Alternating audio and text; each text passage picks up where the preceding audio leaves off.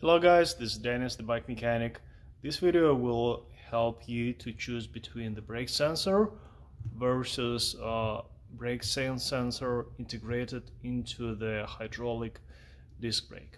I have uh, this cargo bike here uh, the, and the original problem was that the, the bike tuned on but it didn't give any power and the reason why it didn't give is because this brake sensor fell off.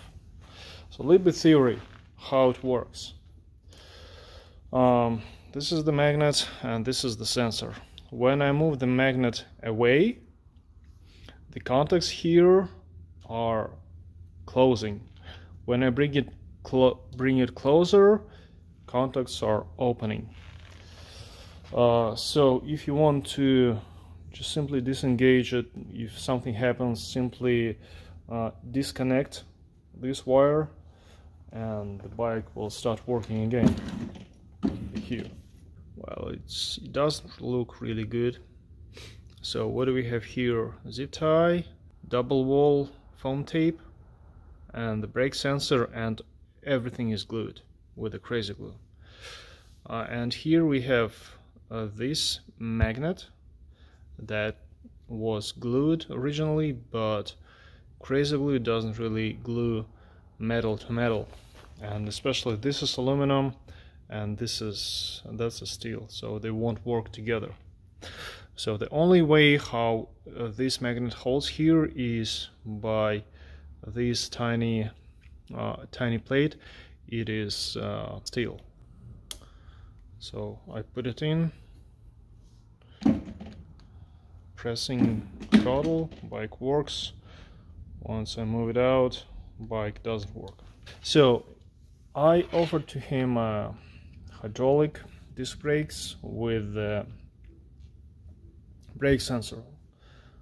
So inside here we have this spring then goes the sensor by itself and the, and this bolt and you screw the bolt in and the spring it doesn't doesn't let the sensor to go back and forward.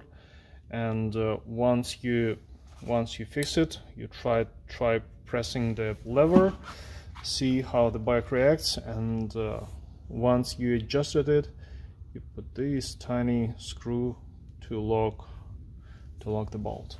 Now the only the only thing is that this brake goes for approximately $100 versus uh, the brake line, uh, the brake sensor by itself, which is approximately 20 bucks.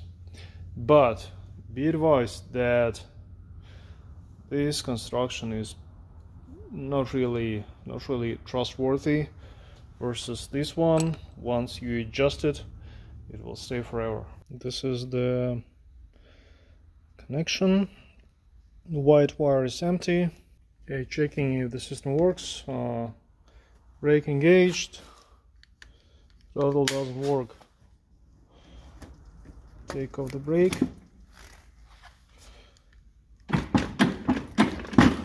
And uh, throttle works. That's it. So with Luna white, cab white cable empty.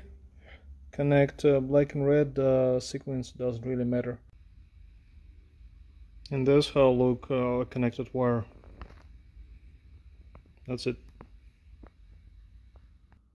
Thanks for watching. That was Denis the bike mechanic. Have a good day. Bye bye